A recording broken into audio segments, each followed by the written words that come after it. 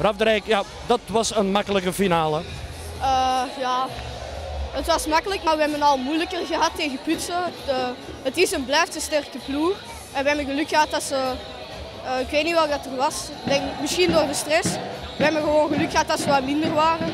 Dat dat ook veel moeilijker kunnen zijn. Dus ja, Maar je wint met 12-2, dan mag ik toch zeggen dat het vrij makkelijk was. ja, dat mag gezegd worden.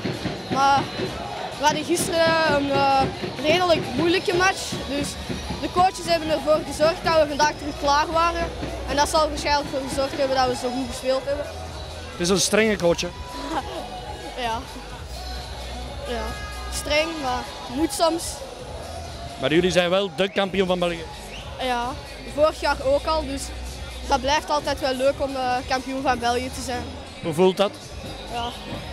Telkens die stress eh, in het begin van de match en dan dat mindert eh, in geloop van de match. Want eh, bij elk doelpunt gaat de stress een beetje weg en laatste.